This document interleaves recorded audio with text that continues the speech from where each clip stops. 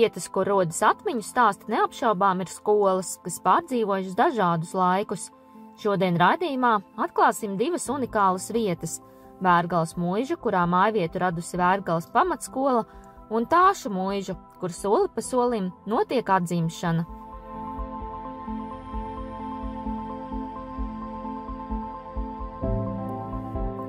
Bērgals mūžas komplekss ir vietējās nozīmes arhitektūras piemineklis un viens no saudabīgākajiem ampīra stila mūžas kompleksiem Kurzemē. Bērgale ar vārdu Birgenare pirmo reizi dokumentos minēta 1253. gada 4. aprīlī saistībā ar Kurzemes teritoriju dalīšanu starp Kurzemes bīskapu Heinriku un Vācu ordeni. Mūžas pils celta kā Ugāls barona von Bēra medību pils 1800. 37. gadā. Šeit cilvēki jau dzīvojuši ir ātrāk nekā 1000, no, no 13. gadsimtā. Nu, šeit cilvēki liecina par to, ka šeit ir atrasta arī akmens cirvji un senas lietas, kas liecina par to, ka cilvēki jau dzīvojuši te jau sen, sen, sen. Nu, un tad pēc 13. gadsimta tad īpašumi šie te ir mainījušies īpašnieki. Tātad no 1722. gada šeit ir barons bērs ar savu dzimtu. Šeit vasarā viņš šeit dzīvoja, ziemā parasti, ziemu pavadīja parasti Vācijā. Nu, un šī te ēka, kur mēs atrodamies, te kādreiz ir bijis kungu māja.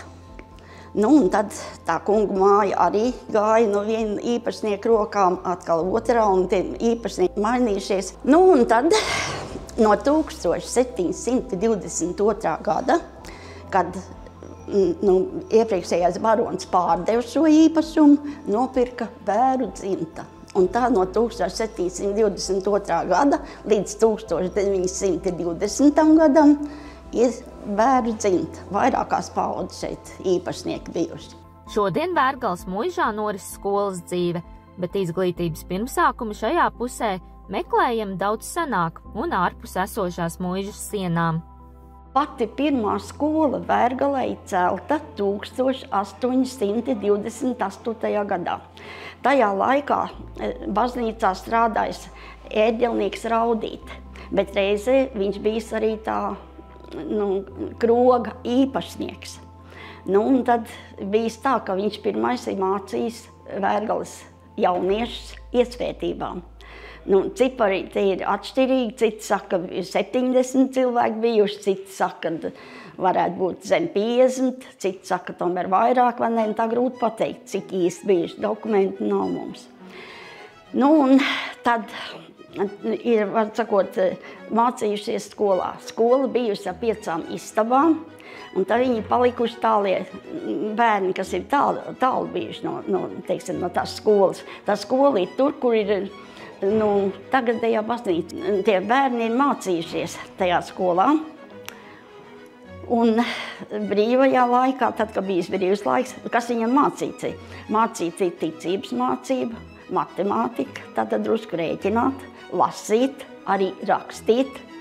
Nu, tie tie bijuši tie galvenie. Bet pārējā laikā, kad bijuši brīvi, tad bildījuši alu pudelēs, un tā droši vien bija mācība. Vai, nu, mēs tagad tā sakām, ne? Nu, un tad to skolu 1906. gadā saspridzinātu. Tāpēc, ka šeit ir melnā sortņa, bija, ja, kas nu, medīja tos cilvēkus, kas piedalījās 1905. gada revolūcijā te ir daudzi nošauti, tā skolas ēka ir iznīcināta. Un iznīcināta tāpēc, ka nu, šauts esot it kā uz dragūniem nu, no tās ēkas. Nu, tā viņa nav vairāk. Tagad, kad tur mm, roka, teiksim, cilvēks, tur ļoti daudz vietās atrod ķieģeļus vēl, nu, atliekas, teiksim, no tās ēkas. Nu, un tad 1871. gadā uzcēla skolu. Skolā ir mācījušies ap simtu pārsimtam bērni, bet tur tajā pašā ēkā ir bijusi tā laika pagasta mm, priekšnieks tur strādājis ir arī tajā ēkā. Un no tās ēkas uz šo te skolu pārcēlās 1922. gada 26. oktobrī šeit. Nu, no tā laika visu laiku šeit ir skola. nu, teiksim, tas skolas mainījās. Bija četrklasīga, sešklasīga, septiņgadīga, tad astoņgadīga, ne, nu, tad bija deviņgadīga, bet tagad mēs esam pamatskola. Vergals pamatskolā šobrīd strādā 18 skolotāji. Skolā šobrīd mācās 130 audzēkņi. Es uzskatu, ka bērniem šeit ļoti patīk. Skola ir atjaunota.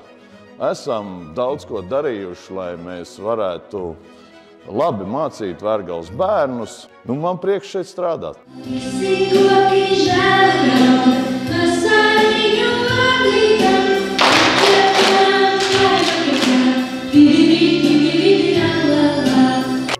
Neapšaubām, ka gadu gaitā daudz kas ir zudis, taču neskatoties uz visu, ēkā ir rodams senais mūžas mantojums. Pie ieejas ir šādi izgriezumi. Otrais no labās pusītes, ja skatāmies, tas bija ļoti sabojāts, bet mūsu bērniņš mācījās, nu skolnieciņš mācījās Liepājas mākslas skolā, un tā viņš to uztaisīja. Nu, es domāju, ka viņam ļoti veiksmīgi tas otrais, ja, tas ir atjaunots. Šīs te ir arī saglabājušās no 1837. gada. Un šis marmors ir vests no Itālijas. Šīs te trepītes ir no 1837. gada. Un redziet, ko tas nozīmē. Laikā nocirsti ozoli, pareizi izžāvēti, un tā viņi te glabājas. Tātad mēs ejam par ļoti senām trepītēm.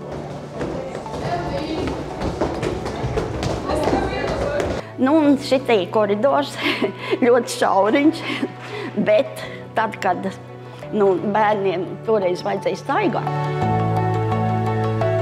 pa diviem saķērās rociņos un tā gāja te riņķī apkārt, vai ne, un tā viņi te mainījās tā nīpusītē pāris šī pusītē. Un tā kā atbrauc uz salidojumu vai kā tie bērni, viņi saka, mēs nevaram saprast, kā mēs te varējām satilpt nu, ka viss ir tāds ļoti šaurs. Toreiz mums tā nelikās. Skolas, jeb mūžas gaiteņos, sentnīgumu paspilgtina Pētera kundziņa gleznu galerija. Kundziņš bija radinieks Ensonam, tam mācītājam. Nu, viņš gleznoja, un viņš arī apciemoja mums skolu. Nu, un viņš uzdāvināja 26 gleznas skolai. Bet tā tāda noruna, ka tās gleznas ir domātas skolai, mēs viņus nedrīkstam ne pārdot, ne tirgot, ne dāvināt, neko tām te jābūt un viss. No autentiskā mūžas mantojuma vietām telpās ir saglabājusies senā oša grīda, kas atjaunot un attīrīta no savukārt biezajām grīdas laku krāsām. Te vīri strīdējās. Viena teica, ka tas ir ozols, bet beigās izsprieda, ka tas ir osis. Ziniet, tad, kad bija tā skola pieņemšanas, ja, tad mēs tādas grīdas krāsojam. Te bija kādas 17 kārtas virsū. Bet atnāca Gins, nu, šitas direktors, un tad viss ņēma un attīrīja. Paņēma no liepājas to tī, tīrāmo mašīnu, es teiktu, ja. Visu vācu to nost. Mums tur gāja traki, mēs dabūjām 1000 eiro, ne, latu samaksāt, tāpēc, kad mēs sabojājām, viņš salūž mums tas aparāts, ne. Bet tad attīrījām, Jāatzīmē, ka mūža piedzīvojusi dažādus laikus. 1944. gadā šeit ir bijis Vācu hospitālis. Dakteris ir bijis viens pats vācietis. Operējis, nav skatījis ne, ne dienu vai nakts, vai nesniedzis palīdzību. Zināt, ka šeit bija kurzemes kartls. Un tad ved tos ievainotos gan vāciešus, gan arī krievus. Vācieši ir gulējuši šeit, un tāpēc tās palātas ir tā, tā būvētas, ir, ne, kur sniegt palīdzību. Nu, un tad 44. gadā Vērgala bija pilna cilvēkiem šī ēka, jo ļoti daudzi bija tas vācu kara hospitāls, bet tad jau uz beigām tas palika mazāk, vai ne, tie cilvēki, kas bija ārstējami, bija apiet, nu, Vērgalas te pagastā. Ļoti daudz cilvēki brauca, lai varētu tikt nu, uz eh, kuģa. Viņi bija izlūki, brauca uz Liepāju, un tas skatījās, kur nopirkt biļeti, lai tiek uz Vāciju. Nu, un tad mums te bija ļoti pilns ar cilvēkiem. Ļoti daudz te bijuši Vērgalē. Nu, tad viena daļa tika, citas uzspridzināja tos kuģus visādi. Fakti un nostāsti senajā Vērgals mūžā ir rodami daudzās vietās. Katrs priekšmets atgādina seno laiku notikumus. Kāds īpašs stāsts saistās ar vienu no skolas eksponātiem, kas kalpo kā uzskats priekšmets skolēniem dabas mācībā un bioloģijas stundās. Šis ir oriģināls cilvēka skelets. Tā vēsture sākusies tā, ka nu, pagājušā gadsimta sākumā no, sku, no, no jūras izskaloja meiteni. Nu, saka, kad esot 16 gadu vecs, viņa varēja būt. Nu, man vienmēr pamāca smējās, ka es saku, nevienam nepiederēja tā meitene. Nu, tur ir bijuši divi skolotāji, kuri ir to meiteni novārījuši. Un tad visi šie kauliņi, visi ir ar smalku, smalku stieplīti, visi savienot kopā. Šeit ir nu, visi pirkstiņi, visi, visi, visi tādi. Nu, un tad tas skelets ir bijis Ziemupas skolā. Un 1965. gadā, kad likvidēja mazās skoliņas, Ziemupi nolikvidēja. Tur bija četrklasīga skola. Nu, un tad visas lietas, kas bija nu, uzskats līdzekļi, ja, un, un arī šis skelets visus atveda uz Vērgals skolu. Tas, vai Vērgals skolā ir rodami arī spoku stāsti, domas dalās. Citi saka, ka vakaros dzirdami trokšņi, citi, ka skolā rodams savs mājas gariņš. Šodien skola turpina savu pastāvēšanu, un vēstures stāsti tiek nodoti jau jaunajām paudzēm.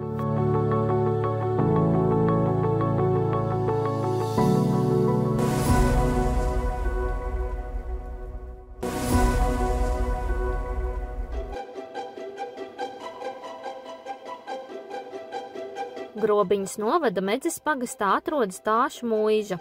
Mūžas liktenis ir bijis piepildīts daudz dažādu notikumu, nejaušību un dramatiskiem pavērsieniem. Iespējams, tieši tādēļ mūžā ir saglabājies unikāls kultūrvēturiskais mantojums, un arī pati vieta ir sena, kas ļauj vēsturniekiem un pētniekiem atklāt daudz jauna un neparasta arī mūsdienās. Stādot kokus, mēs esam atraduši arī kramarīkus. Tas nozīmē, ka te jau akmens laikmetā dzīvojam. Eh, divu gadu atpakaļ mēs atradām bezripas keramikas lauskas. Tas ir kaut kāds 7. un 8. gadsimts. Un eh, pirmoreiz rakstītos avotos kursiskais tāšu nosaukums Telse pieminēts 1253. gadā. Tā kā tāša ir latviskais nosaukums un kursiskais nosaukums ir Telse. Un interesanti, ka tas, ka latviskais nosaukums parādās 18. gadsimtā, bet vācu nosaukumā Telsen saglabājās līdz pat Pirmajam pasaules karam. Šeit pie mūžas nav atrastas nekādas liecības par uh, kuršu apdzīvotību, bet otrā pusē, Talsos, Alans krasta otrā krastā, savukārt ir atrasti kuršu ugunskāpi. Līdz ar to varētu būt, ka Talsos ir bijusi senā telse, un šeit ir vienkārši veidojies mūžas centrs, jo šeit bija vairāk piemērots uh, mūžas centra vietai, jo te ir upīta tek, kur varēja izveidot šīs ūdens zirnavas un arī šo saimniecības pagalmu. Tā kā šobrīd nav tā īsti zināms, bet iespējams, ka Talsos ir Telses ciema vieta, un tāšos arī kāds dzīvojas, bet tāšos tad veido šī mūža. Mūža pirmo reizi rakstītajos avotos minēta 1501. gadā, taču pat tā būve šeit veidojusies 17. gadsimta vidū, un tā darināta no koka. Pirmā mūra celtne no 1734. gada tā ir kungu māja. Šis te kungu mājas eh, teiksim, pasūtītājs tā varētu teikt bija Friedrichs Henigs un Kors ļoti bagāts cilvēks tam laikam. Viņam piederīja īpašumu ne tikai kurzemē, bet bijušajā Prūsijā. Un visticamāk, ka no Prūsijas arī nākus nauda, jo kurzem bija Ziemeļkara laikā sapostīta, pēc tam mērs arī bija e, paretinājis cilvēku skaitu. Un arī no Prūsijas visticamāk arī nākus nācis būvmeistars, nu, tas ir tāda arhitekta priekštecis. Tas būtībā bija celtnieks, kas mācīja zīmēt plānus un fasādes. Būvmeistars bija ļoti, ar ļoti nu, labu izglītību. Ja. Un arī vesti gatavi izstrādājumi eh, no Austrumprūzijas. Piemēram, galvenais ielas portāls izgatavots no Gotlandes smilšakmens, un visticamāk viņš ir izgatavots Kenigsbergā bijušajā, jo tur bija tuvāk akmeņkaļa darbnīca. Ēkā pirms sākotnēji bija septiņi kamīni, un uh, visi šie kamīni bija katrs savādāks. Un zināms, ka vienā telpā bija kamīns bez krāsas, bet visās pārējās bija kamīni komplektā krāsnīm. Tā kā kamīns bija tāds savā ziņā dizaina priekšmets, skaistuma priekšmets. Kamīnu šīs fasādes izskats ir ļoti neraksturīgs kurzemē, un uh, šāds kamīns jūs vairāk nekur neredzēsiet. Un visticamāk, ka šos kamīnus uh, nu, teksim, veidoja šo te dekoru meistari no Austrumprūsijas. Kāpēc vajag septiņi, vajadzēja septiņas kamīnas šim Friedricham Henricham Korfam, mēs īsti nezinām. Jo parasti kurzemes eh, kungu mājās bija pa vienam kamīnam. Māja savulaik ir bijusi ļoti moderna, ar pārdomātu izvietojumu, jo pati ēka ir būvēta ārpus saimniecības pagalma. Vidzemē vēl līdz pat 19. gadsimta sākumam būvēja pie saimniecības pagalma dzīvojamās ēkas, bet šeit ir iznests ārpus saimniecības pagalma lai veidotu parādas pagalmu mājas priekšā un lai būtu iespēja izveidot regulāro dārzu. Ēkai bijuši gandrīz 4 metru augsti griesti, pārdomāta apkuras sistēma ar akmens plātņu grīdām, kas saglabājušās līdz pat mūsdienām. Vēl tāda īpatnība, ka ēkā nekad nav bijusi virtuve. Virtuve bija atsevišķā mājā, un šo ēdienu nesi no tās mājas uz kungu māju. Tas lai tāpēc, lai nebūtu smakas, lai nevazātos nevajadzīgi cilvēki un arī ugunsdrošība. Diemžēl virtuves ēka tika nojaukta 18. gadsimta beigās, un tā līdz mūsdienām nav saglabājusies, un faktiski tāša mūža virtuve ir zaudējusi. Tāpat laikā mūža sēkā ir saglabājušās gan plašās telpas, gan lielie logi.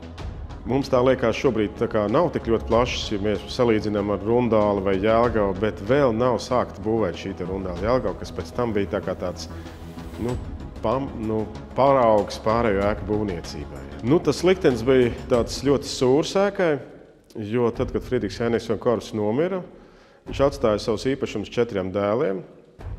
Sadalīja viņus gan Prūsijas īpašumus, gan Kurzemes īpašumus, bet Dāšu mūžu viņš atstāja kā koprokas īpašums. Ļoti reta forma. Tas nozīmē, ka visiem četriem dēliem pieder šis īpašums. Viņi dala visus ienākumus četrās daļās. Bet kungu māja nevienam nav vajadzīga un te neviens nedzīvo. Līdz ar to jau 18. gadsimta beigās kungu māja nonākusi avārijas stāvoklī. Un 1797. gadā no četriem brāļiem paliek tikai viens, un viņš iegūst stāšas jau tādā pusbrukušā stāvoklī un veids ēkas eh, kungu mājas rekonstrukciju. Rekonstrukcijas rezultātā tika izveidots divslīpju jumts ar nošķeltiem galiem, tika pārbūvēts augšējais stāvs un veikta rekonstrukcija arī telpās.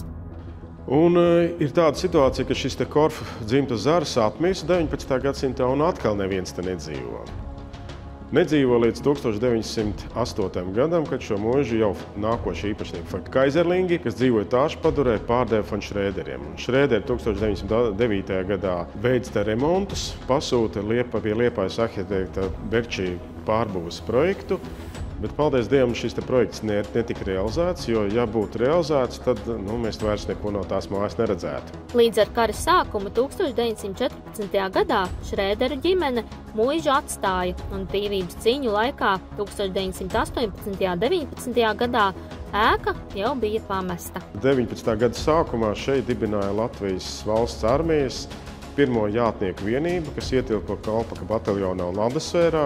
Un tā kā būtībā šeit ir Latvijas kavalērijas dzimtene, teiksim tā. 1920. gadā pienāca agrārās reformas laiks, kad īpašniekiem mūža tika atsevināta un tajā ierīkoja skolu. Otrā lielākā celtnē tas ir kalpa mājā.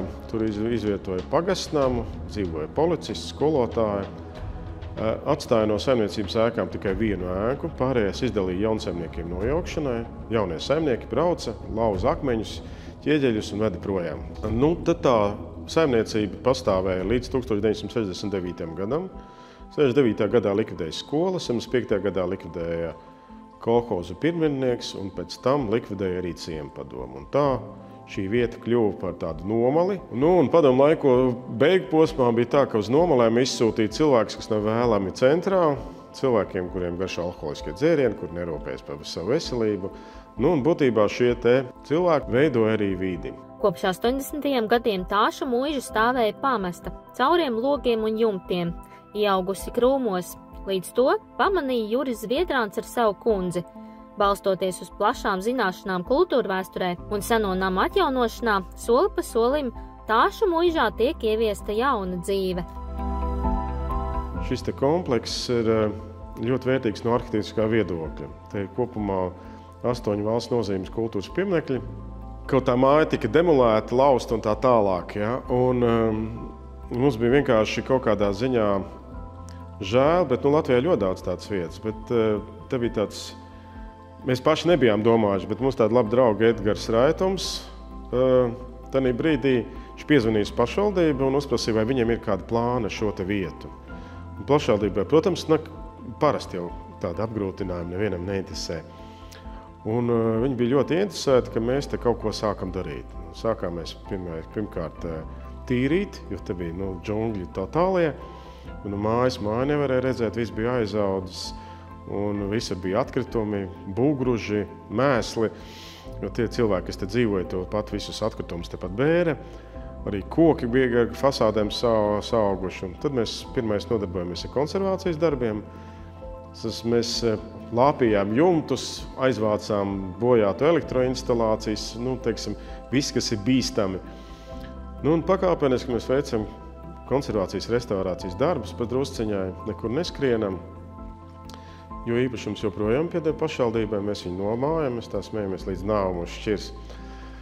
Uh, un līdz ar to te nav tas, tie apgrūtinājumi, kas ir daudz kur, kas ir paņemti kredīti, kuri jādod, un uh, un kaut kādi noteikti termiņi. Mēs esam sev, paši sev pasūtītāji, līdz ar to mēs e, izvēlamies tos meistarus, kas tur darbosies. Un, pieņemsim, šogad mēs taisīsim fasādi tai mājai. Tā kā mums jau ir tādi samērā palieli plāni. Iepriekš piedzīvoto postījumu rezultātā kunga mājā praktiski nav saglabājušās nevienas durvis. Esošās savu ceļu ir mērojušas no dažādām Latvijas vietām. Dažas darināts arī no jauna. Šīm durvīm ir interesants stāsts, jo uh, pašas durvis nākušas no Alažu mūžas bijušās kungu mājas, bet ne no kungu mājas konkrēti, bet no Ventspils muzeja. Un uh, ir tā, ka uh, Tad, kad notika rekonstrukcija, projekta autors Pēters Blūms šīs durvis ar muzeja gādību tika pirktas no šiem kungu mājas īpašniekiem un paredzēts bija viņus likt Vēncpils pilī. Bet mainījās domas, koncepcija, un šo, tad, šīs durvis palika pāri, bet viņiem vajadzēja vienas citas durvis, mazākas durvis. Un tad mēs tā kā mainījāmies. Viņi mums deva šīs durvis, un mēs devām viņam citas 18. gadsimta durvis ar kastes slēdzenīti. Šīs durvis mums nāk no Alažām caur Vēnspili. Ja?